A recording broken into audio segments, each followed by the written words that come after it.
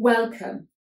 This film is to help you have enhanced confidence, a boost of confidence, a shot of confidence in a nanosecond.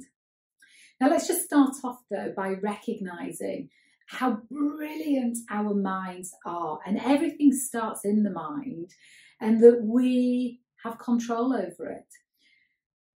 But what goes through the mind when you're about to do something that perhaps you've not done before or is really valuable to you and really important to you.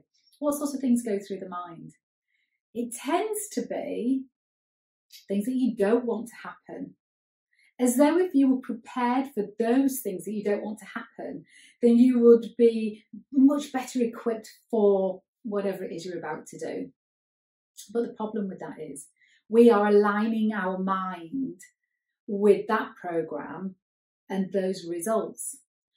Now, the great thing is if we can align our mind with what we don't want, then obviously you've got it. We can align our mind with the things that we do want.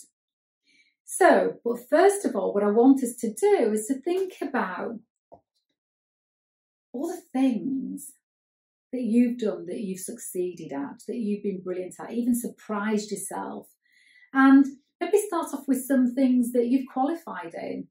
Um, maybe some achievements, climbing mountains. They, they tend to be my hobbies. Um, perhaps it's achieving a result at work that you're particularly proud of.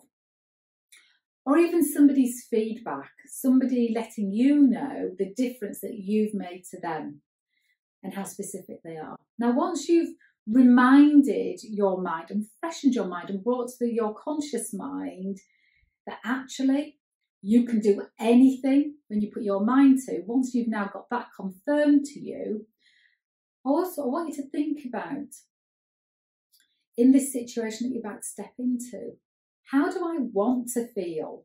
How do I want to come across? In the same way that you were able to think about the things that you don't want, now we can think about things that you do want. So you might want to feel like you're just naturally being you. You know, you're just at ease and, and at flow. So therefore, you have a sense of confidence.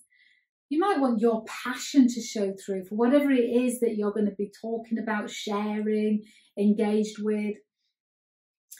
You might want to feel a sense of ease and calmness.